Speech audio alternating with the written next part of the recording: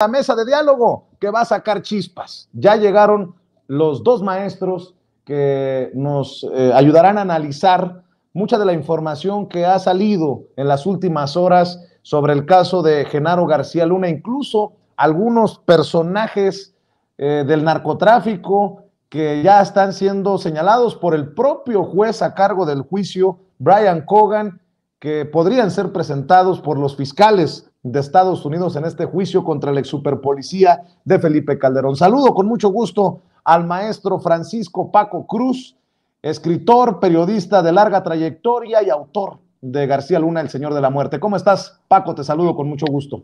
Vicente, ¿cómo estás? Buenas tardes. Este, tardes, no, todavía, sí, ya, ¿verdad? Tardes. Sí, ya tardes, este, ya tardes.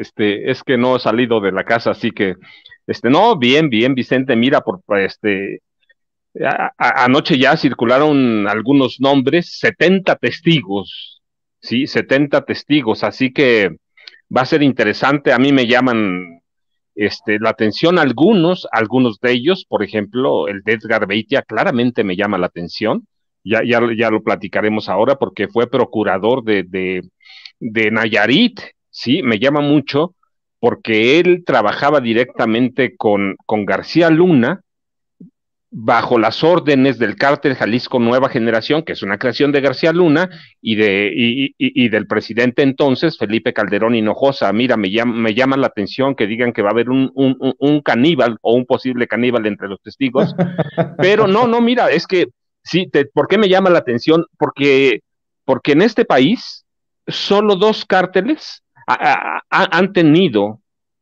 a partir de 2005, por, discúlpame, a partir de 2015, por lo menos en 2015 se les descubrió y, se documentó este, rituales de, de narcocanibalismo, ¿sí? Y solo dos, uno, el cártel Jalisco Nueva Generación y el otro, los Zetas. Entonces, de ahí pudiera venir uno de los testigos, porque sí ha habido rituales de, de canibalismo eh, este, de las víctimas, se comían a las víctimas, Vicente, que eso no, se escribe mucho, no se dice mucho, pero sí, desde 2015 está documentado que, que, el cártel Jalisco Nueva Generación, en algunas células, ¿eh? no todas, sobre todo en las células del sur del país, lo mismo los Zetas, con lo salvaje que eran.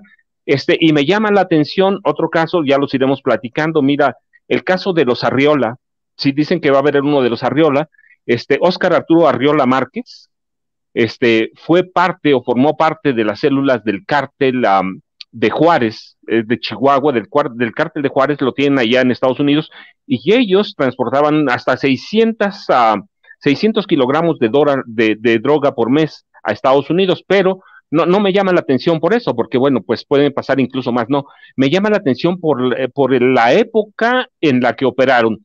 A partir de 2002, es decir, recién llegaba Genaro García Luna a la Agencia Federal de Investigaciones y se conchavaron con él.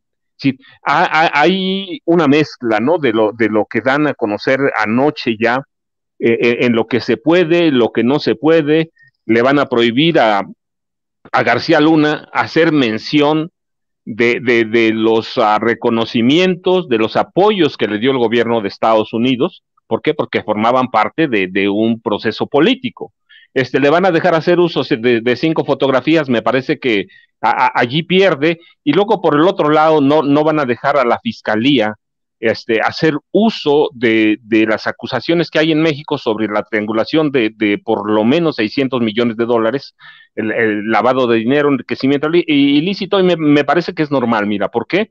Pues porque esa es meramente una acusación mexicana que salen recursos del gobierno federal, entonces, este, ya lo veremos a partir de lunes, habíamos dicho, depende cómo vayan a, a tratar, depende de la dureza de los fiscales, vamos a conocer el nivel, pero mira, estos son los primeros detalles que me llaman la atención, Vicente. Muy bien, pues déjame saludar también.